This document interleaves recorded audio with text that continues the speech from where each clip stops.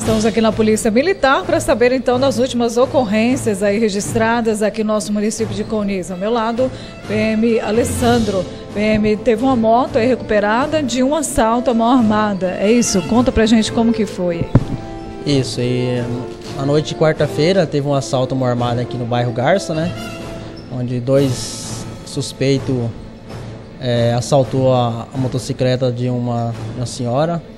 E no sábado, por volta das 4 horas, 5 horas da tarde, a gente foi receber uma ligação do proprietário do veículo que ele estava passando na Avenida 2000 e reconheceu a sua motocicleta que estava estacionada em frente a um salão na, na Avenida 2000.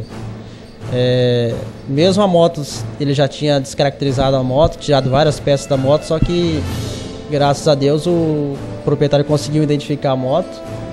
De imediato a guarnição deslocou até o local e constatou que realmente o veículo era dele. E fizemos a prisão dos, do suspeito que também estava no local, inclusive dois menores de idade.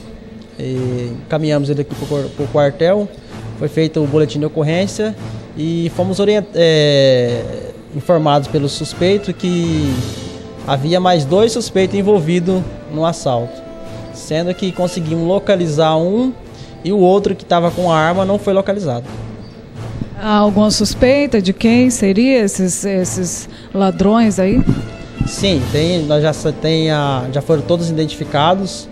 É, três menores que estavam com o veículo foram encaminhados para a delegacia civil e agora estamos à procura do outro que nós também já sabemos quem que é. Diretamente da Polícia Militar, com imagens de José Santos, Cristiane Costa para a Cidade Agora.